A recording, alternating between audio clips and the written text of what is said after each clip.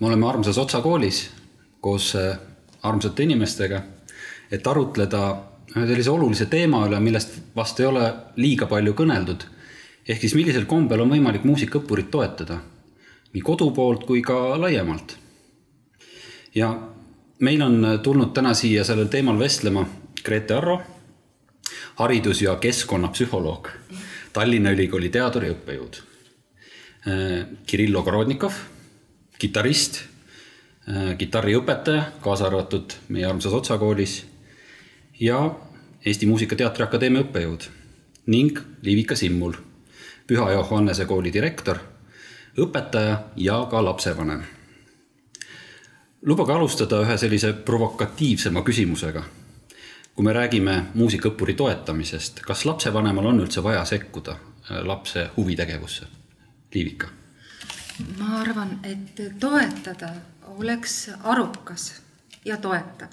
ja see ei pruugi iseenesest olla sekkumine nii-öelda selle sõna negatiivses tähenduses. et jah, ma arvan, et toetus kulub ära igale kasvajale ja, ja õppijale. oskad sa, Kirill, näiteks äh, oma kogemusest täiendada, äh, kas, äh, kust maalt jookseb sellise toetuse ja sekkumise piir? Ma arvan, et võib-olla kui seda kuidagi emotsionaalselt hakatakse värvima või äh, hinnanguid andma äh, siis lapsevanema poolt, võib-olla siis äh, et kui lõpeb lihtsalt huvi tundmine või toetamine, vaid äh, just nagu sinna õppeprotsessi sekkumine, võib-olla just sellel etapil lõpeb see selline positiivne toetamine. mis võib-olla võiks olla selline hea toetus pere poolt näiteks värskelt Äh, esimesse klassi astunud trompetiõpilasele? ma mõtlen, et äh, see, mida vanemad võiksid teha, ma arvan, võiks olla selline hoiak, mis koosneb äh, sellist avatud uudishimust, avatud soojast uudishimust selle suhtes, mida laps seal õpib, kuidas ta ennast seal tunneb, kuidas tal läheb, mida põnevat seal toimub. ja see võiks olla täiesti survevaba ja survet saab avaldada miljonil väiksel kohutaval moel aga selline uudishimu, nii nagu me oleme oma sõprade ja oma, oma kaaslaste suhtes uudishimulikud, et oh, vau, mida sa teed, kuidas sul läheb, räägi mulle sellest, kui sa tahad. ja, ja räägi võib-olla, mis mõtted või tunded see sinus tekitab, et, et kui vähegi lapsel on energiat ja aega, muidugi teha seda hetkel, kui ta ei ole surmväsinud. et, et see kindlasti on ju, on ju väga vajalik asi ma olen kogenud ka mõnel korral, kus äh, lapsevanemad on avaldanud koos oma lapsega tulla äh, tundi mm -hmm. ja olen kohanud tegelikult kahte täiesti erinevat suhtumist. on selliseid toimivaid mudeleid, aga on ka selliseid asju, mulle tundub, et see on valdav olnud, kus äh, laps ütleb, et ei, see on minu asi mm. -hmm. et, et mulle võib-olla tundub, et kui, kui üks muusikaõppur on leidnud enda jaoks selle mingi teekonna, siis siis mingil määral ta vajab seda vabadust, et natuke ka selle mõttega üksi olla. et see ei ole kogu aeg see peretegevus. et ehk siis me tegelikult defineerime ikkagi praegu seda piiri selle toetuse, koostegemise ja, ja siis ka sekkumise vahel. aga sain ma õigesti aru, et me oleme ühel meelel, et õpilasi võiks toetada ja tajuda lihtsalt väga tundeliselt seda, seda sekkumise ja, ja toetamise piiri võib-olla läheksime edasi, mis on olnud siiamaani väga oluline küsimus õpilaste puhul, on motivatsioon. ja tihtipeale räägivad äh, lapsevanemad või ka õpetajad, et need on need minu motiveeritud õpilased ja need on need vähe motiveeritud õpilased. Grete, mis sa arvad üldse, kes vastutab õpimotivatsiooni eest? no kindlasti see keskkond, kes ümber lapse on ja keskkond, äh, ma ütlengi, kes keskkond on ikkagi inimesed, mitte seinad või, või maja. et äh, tänane teadmine motivatsioonist ikkagi väga ühemõtteliselt ütleb, et me saame motivatsiooni teatud äh, viisidel väga edukalt nii-öelda sisse-välja lülitada ja huvitav on isegi see, et äh, vahel, ma arvan, et kõik on seda adunud elus et võib-olla mõni laps või siis sina ise lapsena, sul oli väga tugev selline sisemine kirg või huvi mingi tegevuse vastu, ehk siis motivatsioon oli seal. ja ja sattudes teatud tüüpi keskkonda, äh, siis see motivatsioon sai tapetud, ehk siis see sisemine armas, mõnus äh, kirg midagi teha ei ole ka äh, mõjutamata, mõjutamatu sellest, mida keskkond teeb, nii et noh, see selles mõttes võiks öelda, et pea sada protsenti see on ikkagi keskkonna teha. et, et hoida seda, mis seal on või siis, et kui seal mingil hetkel see motivatsioon hakkab kõikuma või, või ära vajuma, et seda siis, et, et märgata, mida me keskkonnaga oleme siis teinud, et motivatsioon kukkus aga sellest võiks rääkida umbes nüüd tund, poolteist tundi jutti ilma ühegi komata. et see on väga-väga pikk ja lai teema, nii et sa võid muidugi, sa võid selle Pandora laeka avada, aga, aga. ma võin seda natukene paotada ja võib-olla küsida, et kas on midagi, mida selle motivatsiooni tõstmiseks saaks eh, lapsevanem teha? ja et siin on, see on huvitav, et mõnikord mul on meeles üks lugu, kus üks üks tuttav inimene küsis, et näed, et laps ei taha enam käia muusikakoolis et mida ma peaksin tegema, kas ma peaksin ta siis laskma tal sealt ära tulema ma peaksin teda sundima. ja selline minu jaoks nagu hästi valgustav hetk, ma sain aru, et paljude inimeste peas eksisteeribki selline dihhotoom ja selline kahene valik, et kolmandat ei ole. ma kas sunnin või ma lasen tal ära tulla, aga ma jumala hästi ei küsi, mida see laps mõtleb või tunneb või miks ta tahab ära tulla või et, et läheks dialoogi. et noh, et siin on kaks äärmust on ju, mille keskel on imeilus ja suurepärane autonoomiat toetav ja, ja lapse, lapse kui ajuga olevuse äh, nagu olemust väärtustav tee ja see on, et mine dialoogi. et, et küsi, küsi, mis toimub, et aga kas midagi juhtus, kas tuli ette midagi, mis tundub sulle raske ja, ja sul ei ole tehnikat, kuidas seda üle saada või, või on suhted halvaks läinud või sa ei äh, näe võib-olla selles repertuaaris enam midagi, mis sind puudutab. Äh, ja, ja noh, need põhjused võib olla väga palju, enamik või noh, sada protsenti võiks olla lahendatavad kuni selleni, et see tõesti pole minu ala, ma tahan minna teist pilli õppima. et noh, et, et see on nagu üks näide, et, et mida, mida saab siis teha, et ära survesta eks ju, ja ära hülga, et see survestamine ja hülgamine on kaks, kaks viisi, mida siis nagu püütakse teha vist. aga, aga et uurida, see on võib-olla kõige keerulisem, see uurimine ja see ei pruugi kohe tulemust anda. aga see on üks, üks näide, mine dialoogi. Väga tore, me avasime ja paotasime ühe väikese ukse ja ma võib-olla eh, kiikan natuke sinna taha rohkem, sa avasid veel ühe järgmise ukse ja ma küsingi võib-olla Liivika sinu kogemusest ka. Eh, et eh, tihtipeale mingil etapil tekib kõigil muusikaõppuritel see languse hetk, kus nad on valmis loobuma, sest nad saavad aru, et nad ei ole võib-olla veel piisavalt vilunud ja samas äh, samas kuidagi muud tegevused võtavad selle aja ära ja ei tunne piisavalt, piisavalt sellist äh, sisemist tungi jätkata kuidas lapsevanemad peaksid sellele reageerima, sellisele asjale, kui äh, laps tuleb koju ja ütleb, et nüüd on kõik, et homsest kõik või äh, kas kõik või mitte midagi mm? -hmm. no ma kasutaks ikka siis sedasama mõistet, mille Grete sisse tõi, see on dialoog. Et äh, suur osa vot sellest esimesena käsitletud toetuse teemast seisnebki ju oma lapse tundmises, tema hästi tähelepanelikkus nii-öelda kuulatamises ja tunnetamises ja ka tema muutumise tajumises.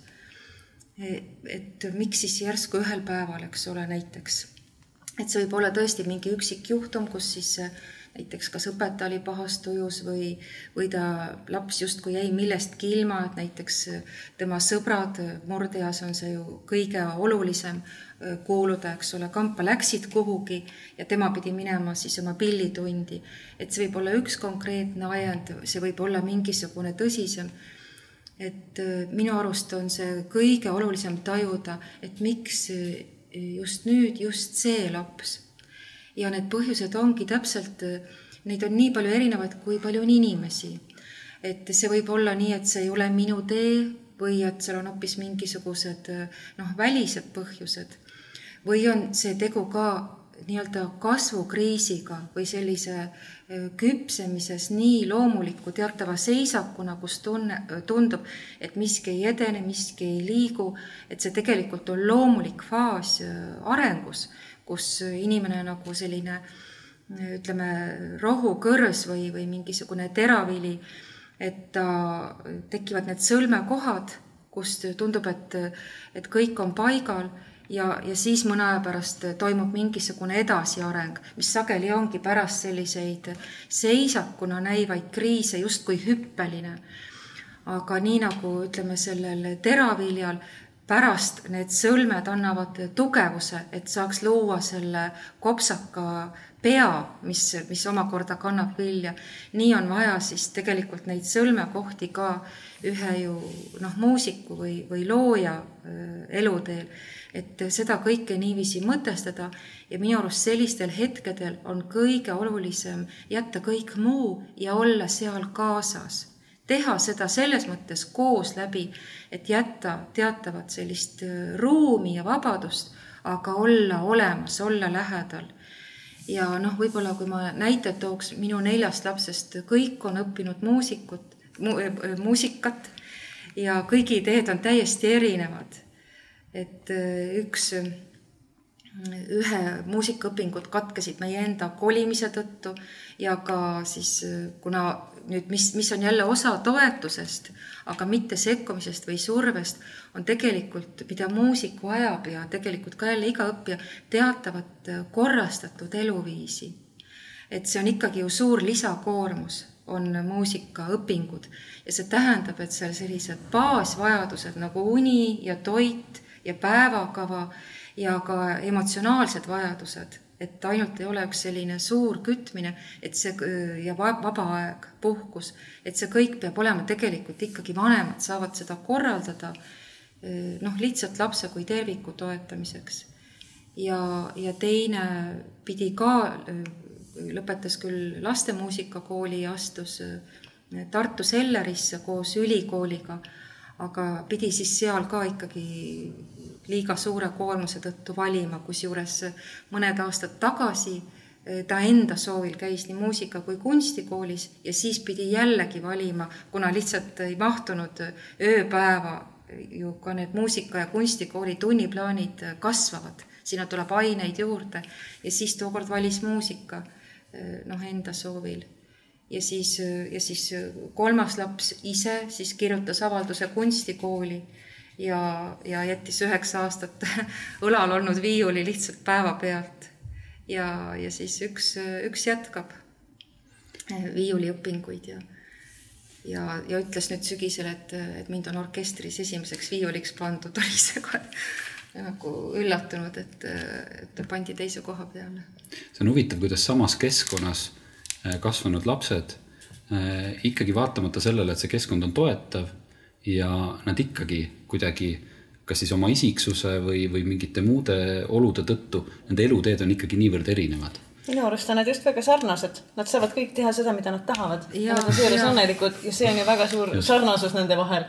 et neil ei ole, nad võivad otsida, mõte on ju selles, et maailmas on tuhandeid teid, kuhu minna ja, ja et sa ei pane endale kunstlikke piiranguid ette või mhm. kunstlikke nagu siukseid surveid peale, et ma kas pean või ma ei saa üht või teist või kolmandat teha või ma pean ennast nagu ära piirama vara, vara, varasest east alates et see on minu arust nende universaalne joon, et nad kõik teavad, et neil on see asi, mis on neile oluline mm -hmm. ja et nad tohivad ja saavad ja võivad sellega tegeleda.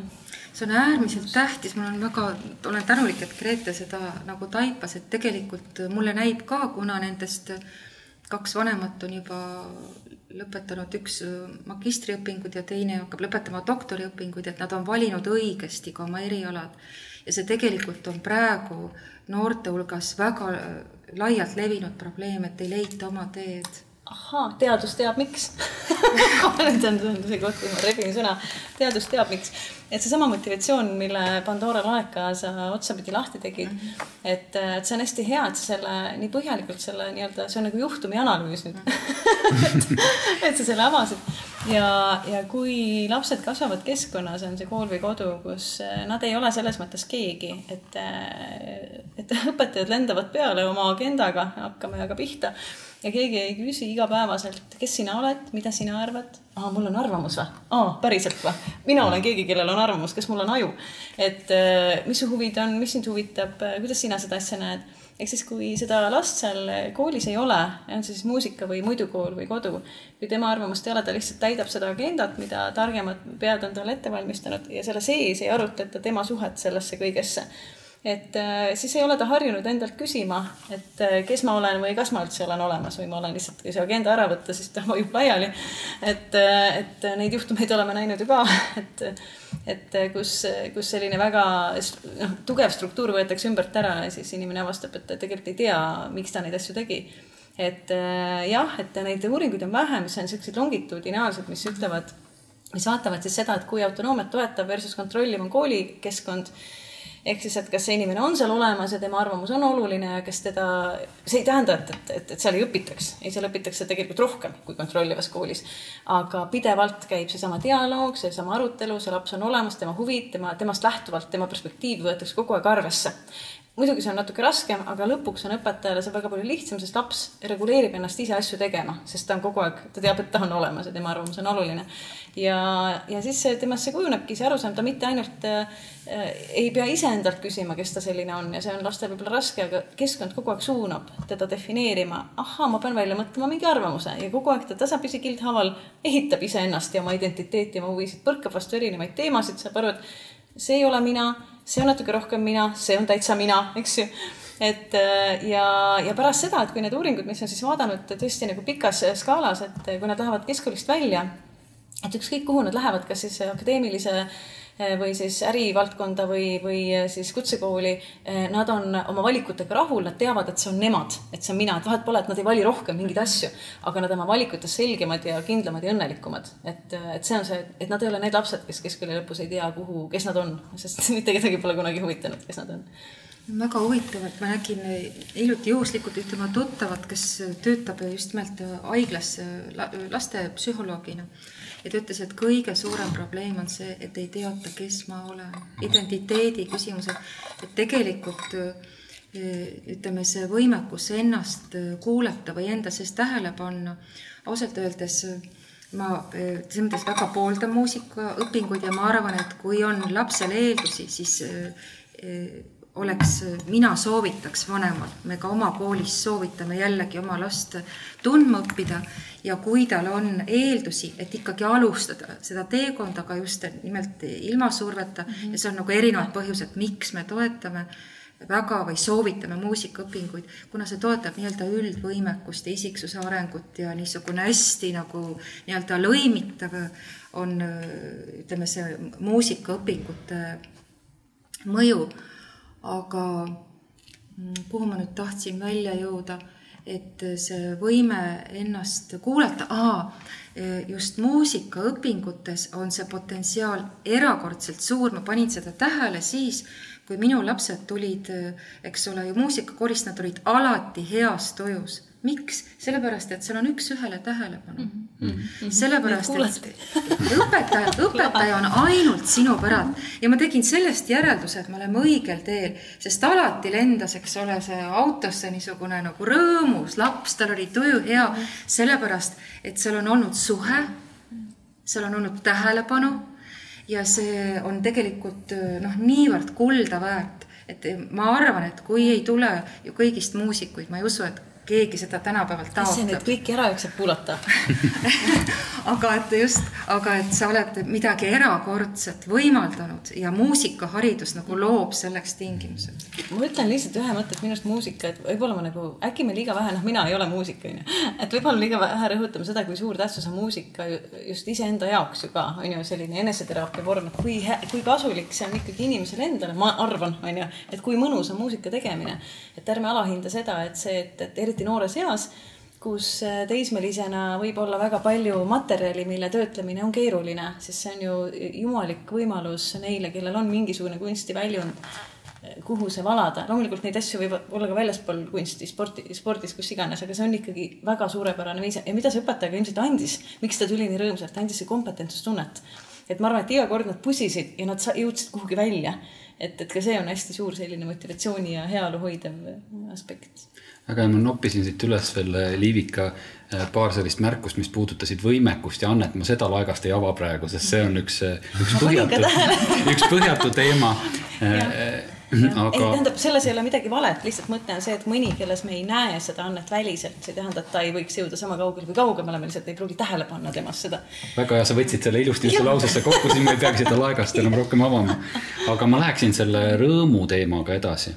et äh, olen kuulnud muusikaõpetajate poolt selliseid ja ka muusikaõppurite ja lapsevanemate poolt äh, kahte väga või isegi kolme erinevat seisukohta muusika õppimise kohta, et on seisukoht et muusika õppimine peab olema rõõmus, peab olema fun, lõbus.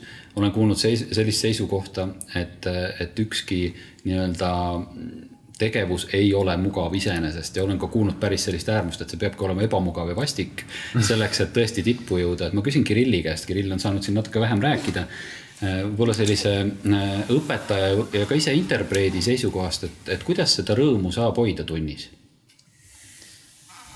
No või kas see on üldse vajalik? ma kõik võib-olla äh, toetun sellele, mis, mida äh, vestluskaaslased on enne rääkinud, et see just dialoog ja see kontakt äh, õpilasega, õpilase siis õpetaja vahel, see on hästi oluline, et äh, muusika on mingis mõttes hästi abstraktne äh, asi, seal ei ole mingeid nagu otseseid tähendusi, aga äh, just see rõõmu osa võib-olla on ka seotud sellega, et saab emotsionaalselt ennast väljendada, et neid äh, mingeid lahendamata äh, struktuure saab läbi selle muusika üle elada ja kuidagi ennast väljendada just emotsionaalsel baasil ka, aga on kindlasti see, et keegi üks-ühele tegeleb sellega, et uuribki, et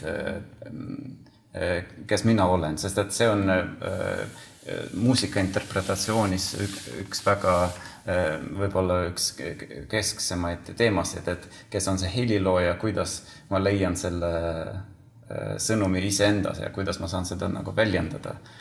ja äh, kui see kontakt nagu õpilasega, õpilase ja õpetaja vahel on paigas, siis loomulikult kui alustada, noh, kui teha õigeid, õige suurusega samme, siis loomulikult seda rõõmu saab pikaajaliselt säilitada. aga tunned sa õpetajana või oled sa vahest tundnud puudust äh, koostööst lapsevanemaga või millist koostööd sa üldse ootaksid lapsevanemana? no äh, ma arvan, et selline uudishimu ja, ja selline huvi tundmine äh, positiivses mõttes, et kuidas mingis mõttes, et kuidas seda, kas, kas või neid tingimusi või seda keskkonda, kuidas saab aidata ja äh, et pigem seda, et lapsevanem väärtustaks seda huvi, mis lapsel on selle muusika vastu.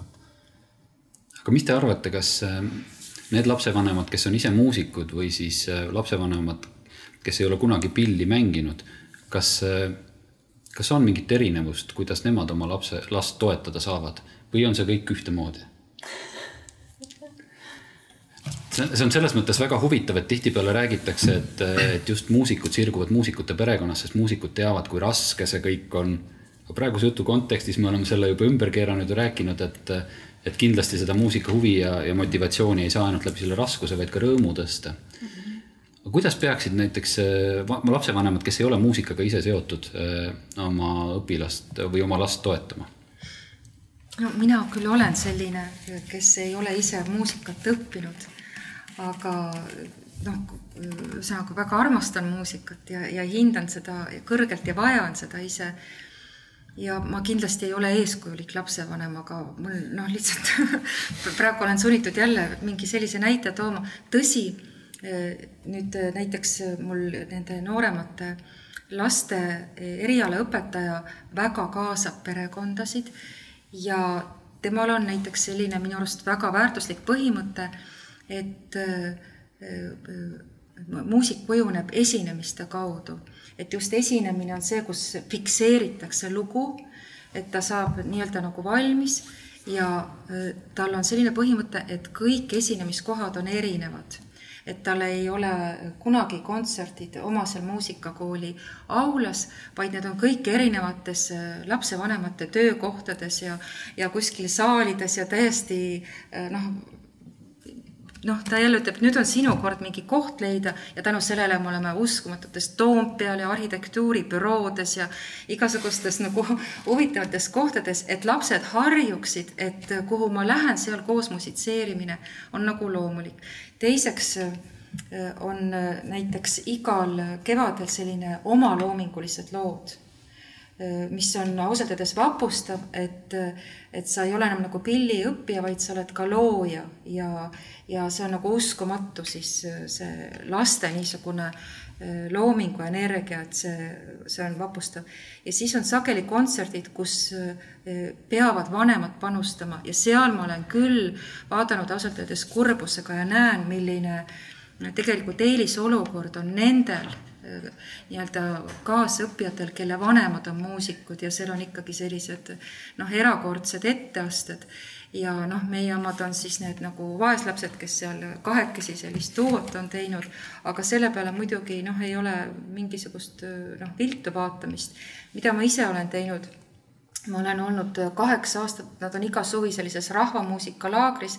mina olen seal alati vabatahtlik olnud, pannkooke küpsetanud ja saanud mingid funktsioonid. teiseks ma avastasin, et lastega igasugustel eh, muusikafestivalidel kaasas käimine on kõige parem puhkuseviis. sellepärast, et see on mul ainus olukord, kus mul ei ole vastutust ja kuskil äh, Põhja-Soomes tuhandete rahvamuusikute ja tantsijate seas kuskil võimla põrandal madratsil magada on minu jaoks erakordselt hinnaline puhkus. või siis kuskil nagu noh, ühesõnaga ma väga-väga naudin, kui kuskile, noh, enne muidugi koroonat oli minek, siis ta juba teadis, et et lihtsalt kaasa tulla ja aidata õpetajal lapsi kantseldada ja loendada, et kas kõik on bussis olemas. et see on, ütleme, erakordne kosutus ja siis elada kõigele sellele kaasa, lisaks sellele, et sa saad tasuta festivali ja nagu panna lapsed magama ja minna siis õhtul sinna nagu kõige viimasele kontserdile rokkima. väga põnev, me jõudsime tegelikult äh, selle kontserdite teema juurde hästi palju esinemise juurde ja noh, me peame arvestama jällegi sellega, et muusikaõppuritel on hästi erinev kogemus esinemisega ja ka hästi erinevad äh, kogemused äh, ja ka oma õpilaste hulgas olen tihtipeale näinud seda esinemishirmu küsimust. et kui me räägime, et esineda hästi palju ja igas kohas, siis väga suurel hulgal õppuritest võib tekkida selle koha pealt äh, vastupidine reaktsioon, et nad ei taha seda. Ähm, mis te arvate, et kuidas peaks tegelema, kuidas tegeleb näiteks õpetaja esinemishirmuga?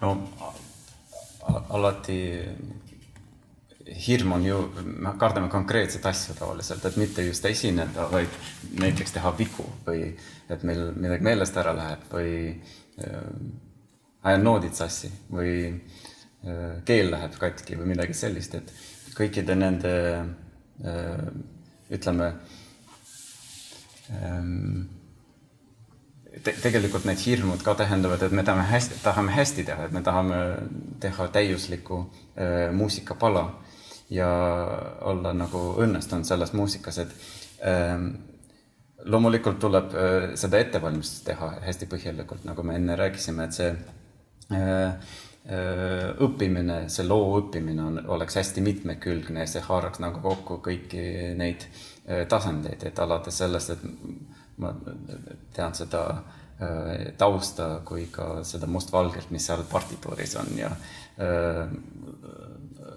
lõpetuseks, et kuidas ma nii-öelda defineerin ennast selle looga ja äh, olen seda treeninud, seda inimeste ees, aga tuleb lahti kodeerida see hirm täpselt, et mida ma konkreetselt kardan. et mõnikord üks õpilane võib karta just seda, et käsi hakkab värisema, aga mõnikord selle just värijune taga peitub see, et lihtsalt me ei tea, mis nagu näiteks konkreetselt üks spetsiifiline asi, et me ei tea, mis sõrmestus seal on. et me oleme kuidagi automaatselt kogu aeg mänginud tuhat korda ja ei teagi nagu, et mis nooti, mis seal mängib, et ehm, mõned sellised konkreetselt praktilised asjad, mis võivad mõjutada, aga loomulikult see, et ehm, ta, tavaliselt, et seda situatsiooni teeb keerulisemaks see, et nagu kardetakse vigu teha et äh, tuleb lihtsalt, äh, võib-olla õpetajad tihti tegelevad just sellega, et nagu ähm, kuidas äh, just muuta seda vea nagu infoallikaks, et kuidas suunata just positiivses suunas seda. Ja seada nendeks esinemisteks konkreetseid eesmärke, mis on hästi lihtsasti täidetavad. Äh, sina tead, Grete, kindlasti sellest esinemishirmust palju. ma võib-olla natuke suunan su küsimust äh, äh, või seda juttu, mis nüüd, mis me nüüd kuulda tahaksime.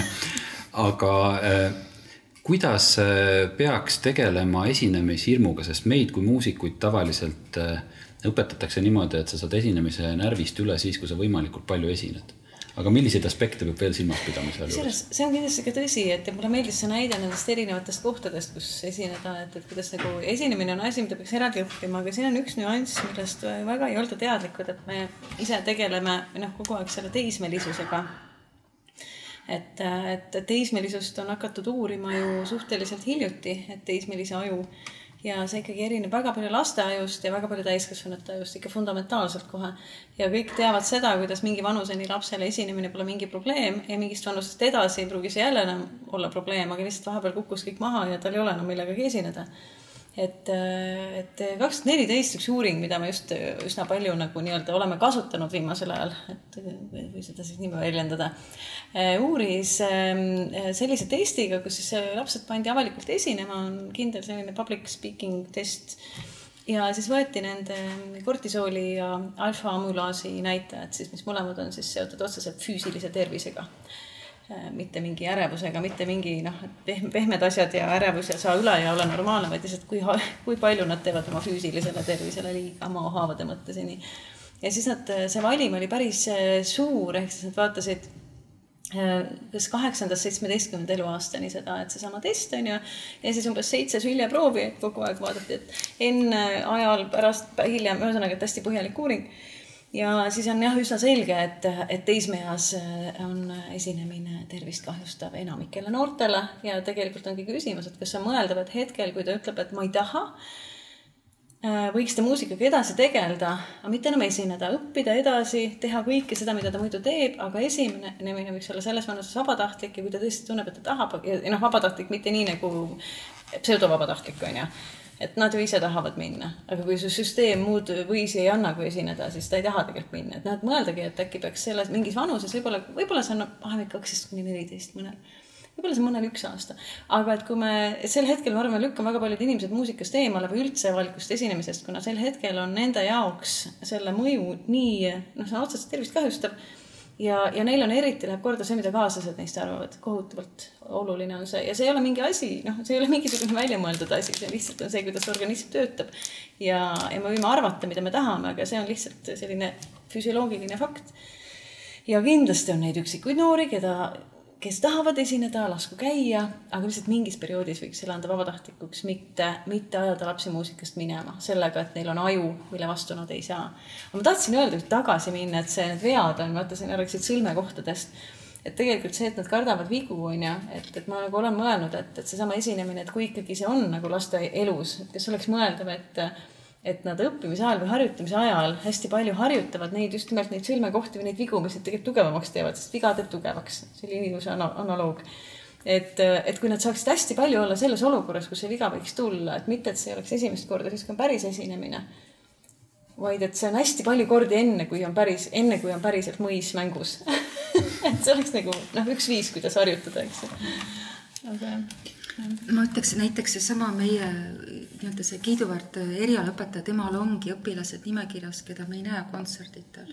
ja ta edeneb ilusti ja, ja. keegi ei vaata sellele viltu, on teada, et ta kardab esinemist ja selline asi on loomulik. ja praegu, võib-olla pärast seitsmeteistkümnendat eluaastat läheb see üle, sest esinemisoskus õpib inimene niimoodi ära, see on mingi küsimus, ta õpib selle hiljem ära.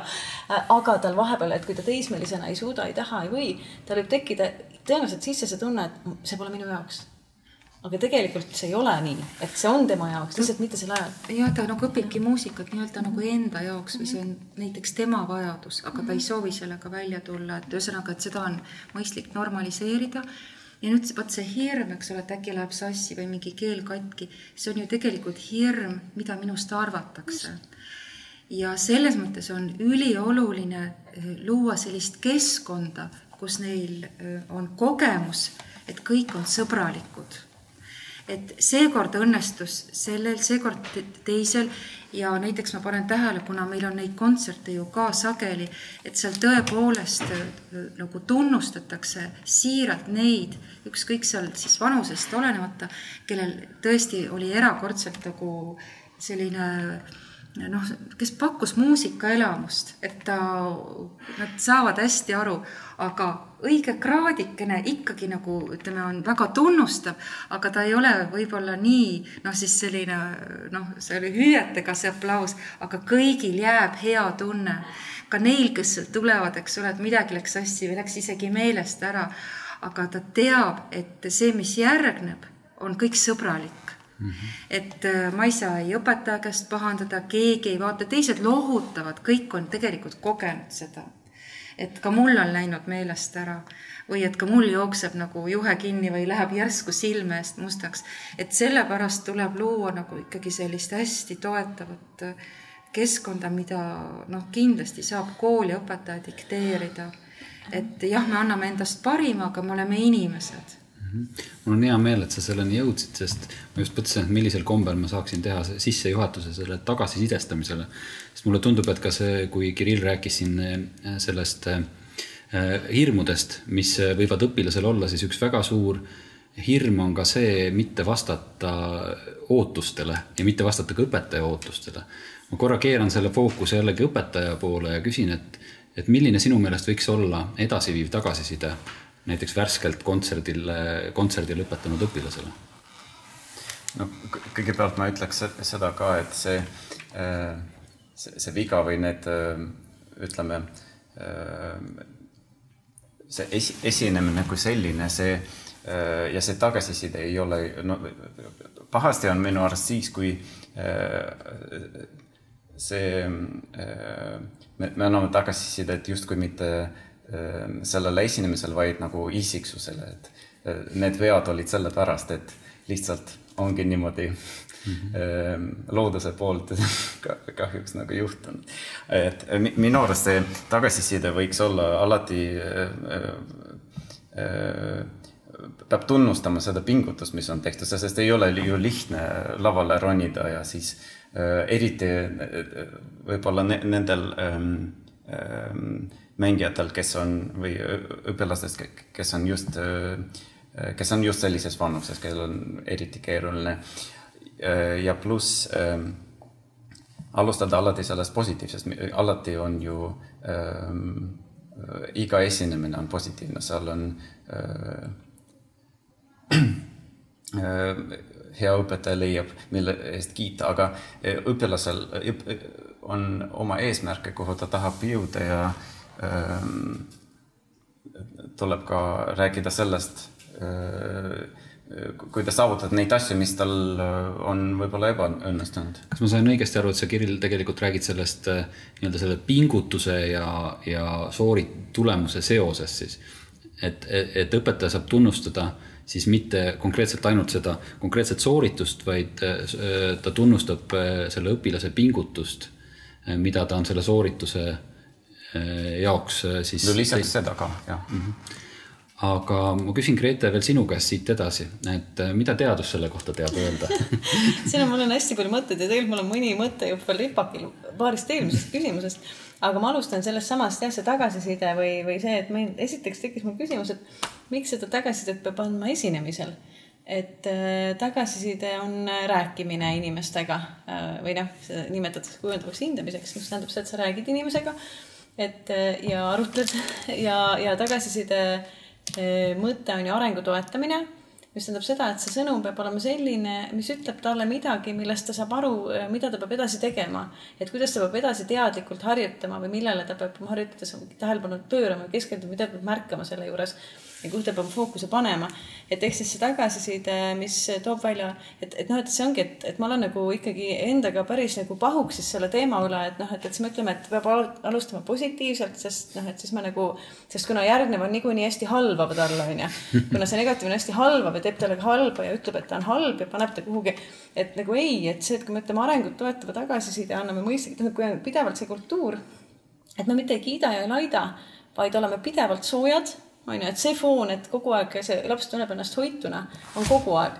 aga et, et ükskõik, kas läheb halvasti või hästi mingi asi, siis kogu aeg arutatakse selle üle, et, et see kõlas praegu õudselt hästi, huvitav, miks, mis sa tegid? või et see kõlas praegu natuke naljakalt, et mis seal võis olla, kas oli kiire äkki et ehk siis, et see sisuline arutelu, pidev sisuline arutelu võtab ära pinge ja hirmu, et ma ei vasta normidele, et ma ei vasta ootustele, et kogu, et noh, et, et kuna kiitus ja laitus, ükskõik, kas ta on pingutuse või mille eest, see kiitus ja laitus ikkagi jääb äh, survest, surveks, et ta, sa võtad ta kontrolli alla, kuna inimene tahab seda kiitust ja laitust. aga, aga ta tahab sellepärast kiitust ja, ja väldib laitust ja ta tahab tunda, et ta kuulub gruppi tal võiks olla kogu aeg tunne, et tal on see soe, mõnus õpetajapoolne selline hoitus. tingimusteta. tingimusteta hoitus on ju.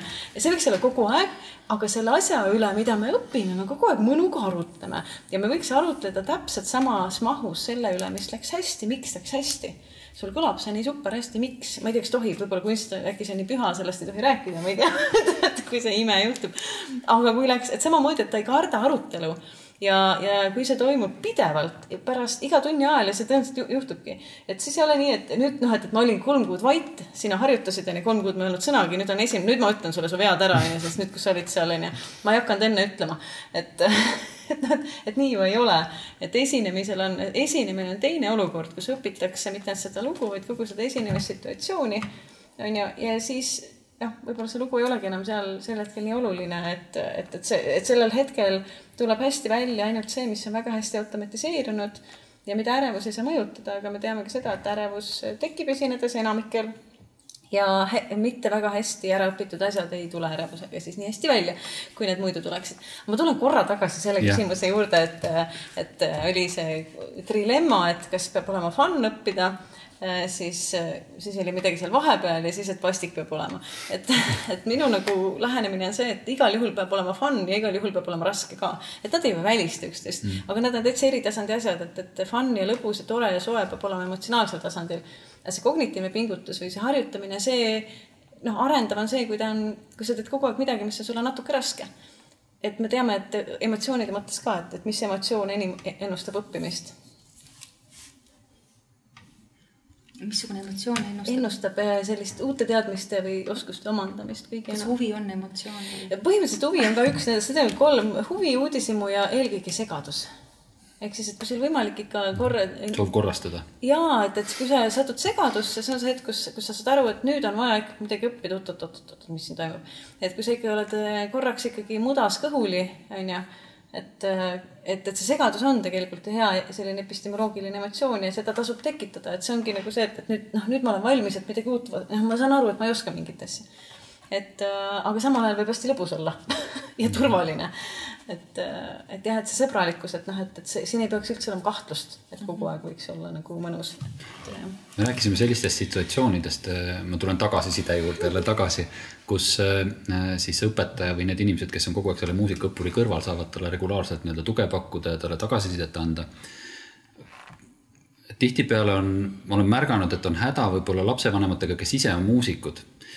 Nad ei osale protsessis alati ja selleks hetkeks, kui siis äh, nad tulevad kuulama oma lapse kontserti, äh, nad peavad andma tagasisidet, noh, see on selline nagu moraalne kohustus ja muusikutena nad ei saa valetada, nad ei saa petta oma muusat.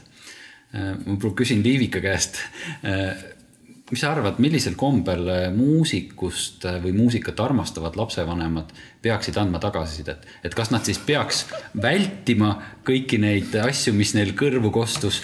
ma tulen väga maistele teemadele tagasi, et hoida seda, äh, et hoida seda, mida meie käest võidaks küsida. Võiks eristada, muusikat armastavad ja lapsi armastavad. täpselt, tahtsin, see oli minu vastus, et et ma tuleks veel korraks selle nii-öelda esinemise juurde, eks ole, et see esinemine ei ole ju nagu tribunal või mingisugune, et miks see ikkagi jällegi see meie kiiduväärt erialaõpetaja teeb nii palju esinemisi, sellepärast et see tõstab motivatsiooni. Mm, -hmm. kuna eh, edu loob edu. Et esinemine on selleks, et fikseerida see noh, nii-öelda eduelamus. et esinemine on selleks, et tähistada et see on jälle noh, nii-öelda nagu verstapost ja seal on alati laud, midagi on kaasa võetud, on lilled, eks ole, on kava seal, keegi õpilastest teeb selliseid toredaid noh, mingisuguseid vahepalu seal teadvustamisel. esinemine on tegelikult motivatsiooniüritus. Päris nagu ilmselgelt, et see on niiviisi nagu defineeritud ja ta sellisena ka nagu toimib, et ta on ikkagi pidupäev mitte, mitte selline, et no nüüd siis, eks ole, on nagu igal oinal oma Mihklipäev ja näidab, eks ole, et seda. aga see kõlab täpselt nii, et nii see võikski alati olla ja minu, sinu jutust jääb mulle mulje, et need lapsed tõesti lähevad sinna hea meelega ja teevad seda ja mõtestavad seda mõistlikult, et see on tõesti see hetk, kus me siis noh, korraks nagu paneme lauale, mida me nüüd täna oskame, et niimoodi ta võikski olla. ja noh, mida sa, eks ole, et noh, et see on see kuuluvuse hirm, eks ole, et ma ei kuulu, sellepärast tuleb ka luua siis seda kogukonda ja, ja ütleme, et, et on üks nagu hirm, mis nagu aitab nii-öelda minimeerida seda väljatõugatuse või hukkamõistetuse hirmu. see on siis hirm jääda ilma tegelikult sellisest nagu armastusest või mitte sellele saada vastata mm. -hmm. et siin meil on selline nagu mingis mõttes selline nagu rõõmu ja, ja isegi ülevuse ja ka armastuse kogukond. ja ma soovin saada sellest osa. Et noh, ütleme nii-öelda selle muusa puudutusest ma ei soovi jääda ilma ja see on nagu domineerivam motiiv kui see, et äkki mind mõistetakse hukka, eriti kui ma ei pea selle pärast muretsema. et selles mõttes on nagu see keskkonna loomine samasugune looming nagu, nagu muusika. aga nüüd muusikust lapsevanem, et tõepoolest, see ei ole sõnademäng, et kas ma armastan muusikat või last, et ilmselgelt kui ma armastan last, eks ole et siis tegelikult ma ikkagi, kui ma arutan, kuidas sul päev läks, kuidas sul läheb siin või seal või sõpradega, et siis ma kuulan ka, eks ole, et kuidas sul läheb seal muusikaõpingutega. ja nüüd meie oma koolis kasutame nii-öelda tegelikku kujundavat hindamist, et mm -hmm. me tükk aega tegelesime kujundava hindamisega, siis me saime aru, et see tegelikult on, on ikkagi ju äh, soorituskemplus. See on ilus sõna. ja, ja so, soorituskemplemine et kuigi ei olnud jah, mingisuguseid skaalalist tagasisidet ja siis me nüüd oleme jõudnud sinna, et ikkagi iga teema või siis iga loo või iga õppeperioodi alguses õpilane, õpetaja räägib, mis võiks olla väljundid ja kaasab sinna ka siis selle laste huvi ja on siis nende väljundi põhjal, väljundite põhjal nii-öelda eneseanalüüsi alused, kus ta analüüsib ennast õppijana, ennast muusikuna ja siis enda siis seda nii-öelda antud kontekstis musitseerimise kogemust. mis meeldis, mis ei meeldinud, mis oli raske, mis oli kerge, mis inspireeris mm, -hmm. mis ajas närvi mustaks ja juba nii-öelda see reflektsioon, enesereflektsioon tegelikult osutub selleks nii-öelda õpetajaks, objektiivseks noh, nii-öelda universaalseks õpetajaks ja siis on, ütleme õpetaja või vanem mingis mõttes see dialoogipartner, kes loob olukorra ja sellepärast me oleme oma koolis nüüd praegu arendame õpetajate mentorlikke oskusi, kus sa tegelikult oled siis selle nii-öelda nagu õppija või oma selle teekaaslase teenistuses ja aitad tal mõista teda ennast.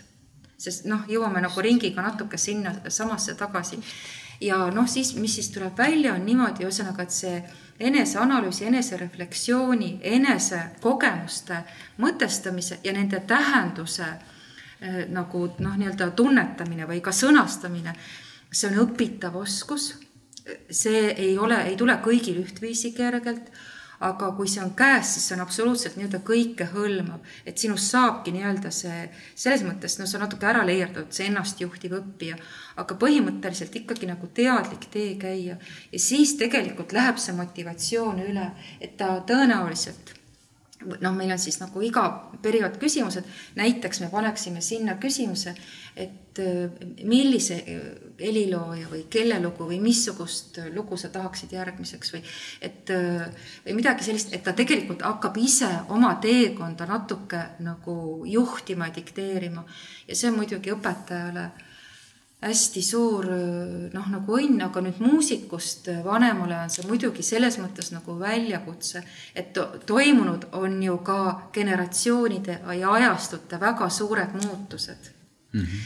ja, ja selles mõttes tuleks olla nagu hästi teadlik, et mis on minu enda õpikogemus ja, ja kuidas, eks ole, et kas ma seda automaatselt siis nagu kannan edasi või projitseerin või, või eks ole, kopeerin või kuidagi teadlikult siis, mida ma soovin edasi anda, mida ma soovin vältida.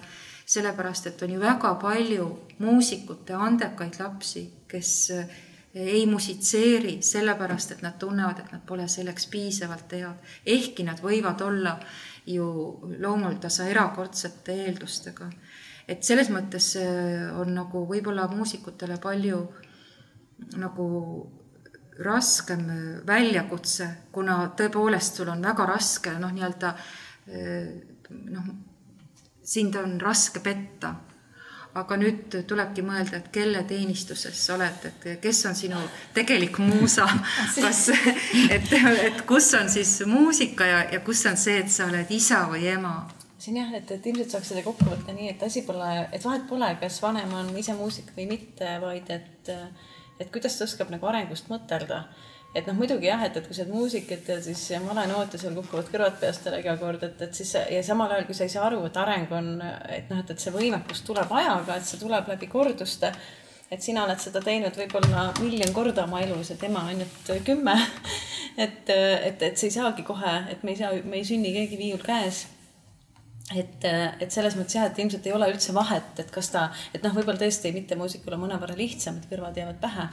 aga et ikkagi, et kas sa oled nagu selles mõttes arengust arusaaja või ei ole ja saad aru, et noh, et, et sul, et, et jaa, et, et kui sa oled muusik, sul on võimalik temaga muusikule võib-olla teisel, teisel moel arutleda ja palju rohkem toetada ja nagu öelda, et mida sa märkasid ja palju nüansseeritumalt hinnata seda, mis sealt tuleb aga, aga mis ei tähenda, et mittemuusikul oleks täpselt samamoodi nagu eh, võimalik eh, lasta siis olla sellel, mis on hästi mõnus, on, miks meile meeldib õpetada õpetajaid noh, psühholoogidele, et kuna me ise ühestki valdkonnast mitte midagi ei tea, siis kõik need aineõpetajad, kes ja seal on ka muusikaõpetajaid, räägi-, noh, saavad meile rääkida, saavad, et noh, et, on hästi põnev tegelikult kuulata, kui ekspert räägib oma asja, siis see laps ongi see ekspert, kes saab ju rääkida, et noh, et mis akord mind eriti puudutab selles loos või mis akordi ma kardan natuke, sest see on nii, see on nii õudne et, et noh, et, et, et see diskussioon on igal juhul võimalik ja see on ju see, mis tegelikult on, oleks vajalik. See on huvitav, et lapsed tegelikult hindavad ennast üli väga palju nüansseeritumalt mm, -hmm. adekvaatsemalt mm, -hmm. no palju-palju täpsemalt ja põhjalikumalt kui mis tahes noh, seal õpetaja või vanem või, või muusik nagu tema enda kogemusele, et see on nagu meeletult, meeletult huvitav, kui laps arutleb selle üle, mis meile tundub noh, kuidagi niisugune äh, noh, universaalne või et noh, kõik istuvad, eks ole, kakskümmend neli siin klassis, et on üks ja sama keskkond, üks ja sama jutt. et niivõrd totaalselt erinevad tajud. aga nüüd võib-olla ma soovitaks siis noh, lihtsalt tohutu häbematuse korras muusikutele nagu mittemuusiku võtteid. et mina võtsin lihtsalt sellise strateegia, et ma ei ütle, et harjuta ma ei ütle kunagi, et, et nüüd harjuta, vaid ma ütlen, et et äh, ma tahaks kuulata, et mängi mulle või mängi üldse. ja siis ma nagu jälgin seda, et ma tõesti ainult kuulan, kusjuures ma ju ei oska isegi seda kommenteerida. vaid mingis mõttes hakkab laps nagu ise siis seda nagu äh, noh, nagu seda mängu juhtima. et ma ja nüüd on, eks ole, kus nad on suured, nad ütlevad ikka kuula, kuula et ma pean nagu ise jälgima, et sa tõesti isegi ei mõtle mingisuguseid mõtteid, mis ju ikkagi seal peas äh, nagu kiirrongid kihutavad. ja siis ta näiteks mängin sulle kolm lugu, ütle, missugune on kõige raskem või et äh, ma mängin, et vaata, mis ma mängin valesti ja noh, selles mõttes nagu see mängu kaudu tegelikult ma ju vaikselt mõtlen et noh, et tegelikult see kvantiteet ju loeb, loob ka nagu kvaliteeti. et ma kuulan ükskord ja teine kord, aga tegelikult ju tema harjutab, ta teeb seda läbi, aga ta ei mõtle seda, vaid tegelikult on see meievaheline noh, loll, jälle loll sõna kvaliteetaeg Mm. aga temal on õigus, kui ta võtab oma selle kasti lahti, öelda, et kuula nüüd, aga sageli ta ütleb, ärge kuulake. et või et, et me läheme koeraga jalutama, ta ütleb, et et äh, ma ei taha, et te kuulete, see on siis, kui ta tegelikult valu ja vaevaga tuletab meelde et äh, noh, midagi sellist. keelab et... kontserdile tulla ka või? ei ole olnud ja. seda, ei ole olnud kunagi, et äh, noh, pigem me nagu ei taha ette kujutada, et kellele ta siis mängib et nagu nui naljaks, et, et, et üks meist nagu peab, peab igal juhul minema, et ükskõik, mis on, et kontserdile ja mul on niimoodi olnud, et näiteks just need mingisugused mai lõpukontserdid, kus on endal noh, töö juures lihtsalt kohutav väsimus ja koormus.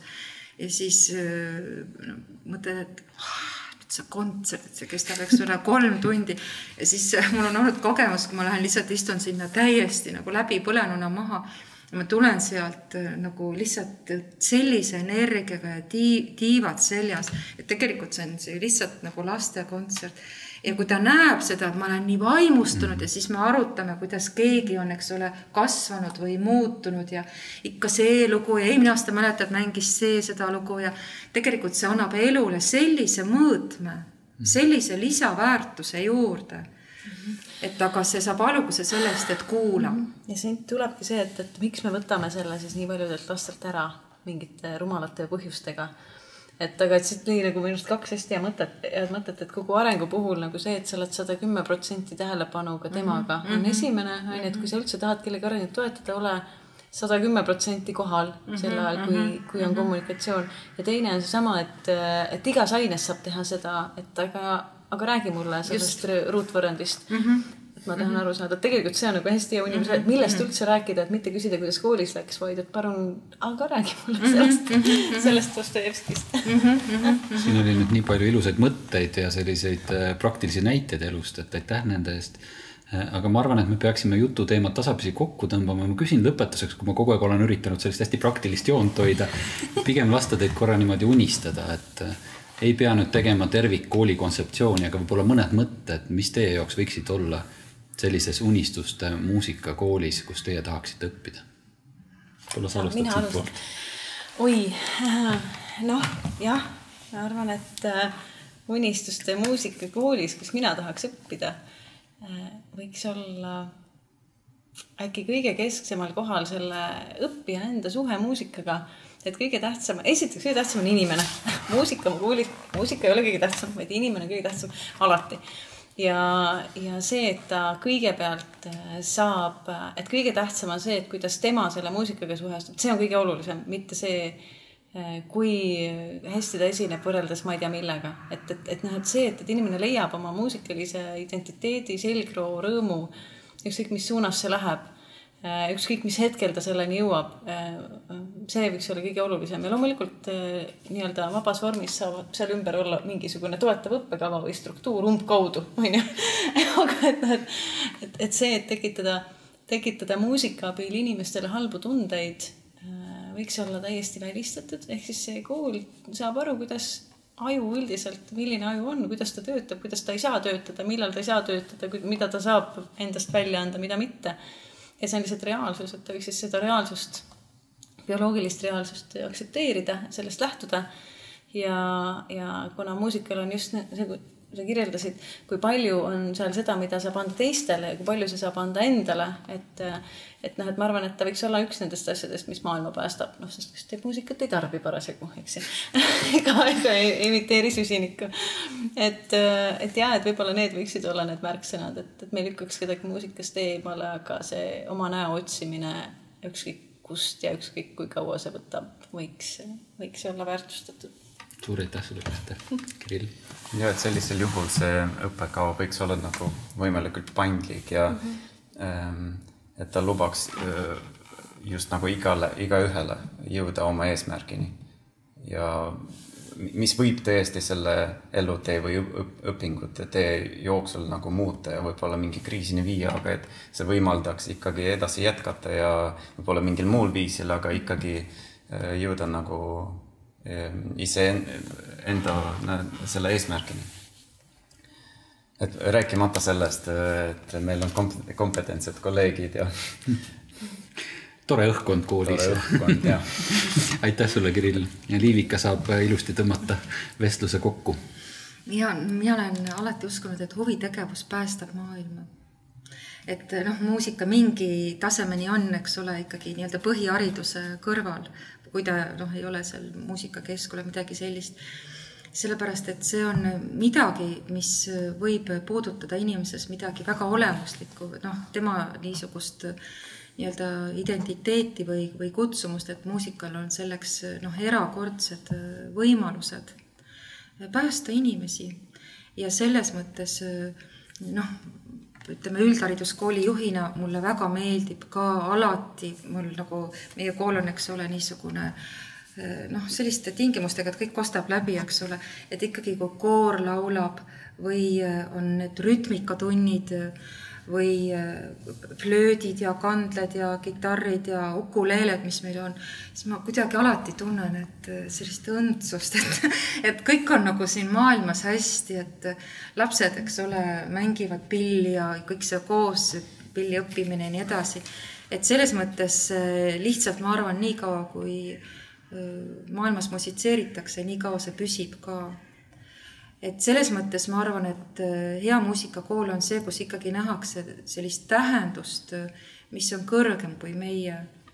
et äh, noh, ütleme nii-öelda seda muusika määratust ja, ja piiritust ja, ja, ja sellist võimalust noh, liikuda kuhugi sellistesse sügavustesse või kõrgustesse, kuhu paljud teised nii-öelda nagu teed ei küündi aga ma arvan, et hea muusikakool on see, kus just nimelt see mm, tasakaal, et keda ma armastan või mida ma armastan, on just nimelt lapse kasuks. et ma arvan, et hea õpe, heas muusikakoolis on õpetajad, õpetajad. et, et ma arvan, et seal ei saa olla nagu oma ambitsiooni ajamist ja tegelikult olla nagu ise suur kunstnik, aga nii, et ma ei näe seda noh, erakordselt habrast äh, ja tundlikku ja heitlustes äh, noort inimest ei taju, siis ma arvan, et, et äh, noh, võib-olla on kuskil soolokontsertidel õigem koht. et heas muusikakoolis õpetajad on, on suured õpetajad suure algustähega. suur aitäh teile kõigile tulemast siia armsasse Otsa kooli ja lähme, võtan siis sõnasabast kinni ja lähme maailma